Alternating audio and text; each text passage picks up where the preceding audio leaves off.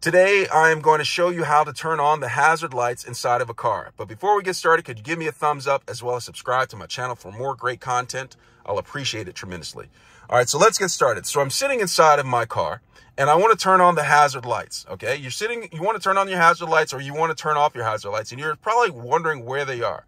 Now, with my particular vehicle, they're located in a specific uh, place. Your vehicle may be different, but the one thing that you may want to look out for is this triangle. Okay, in my particular vehicle, there is a triangle. And this triangle, if you look at forward in your car, this is the triangle for the hazard lights. And when I press it, the hazard lights turn on. You can look up on the instrument panel, those blinking lights right there. That is indicative that the hazard lights are on. Now, if I want to turn them off, I just simply go back to this triangle and press it again and the hazard lights turn off. All right, so that's how you turn on and off the hazard lights inside of a car. I hope this was helpful. Thanks a lot for watching.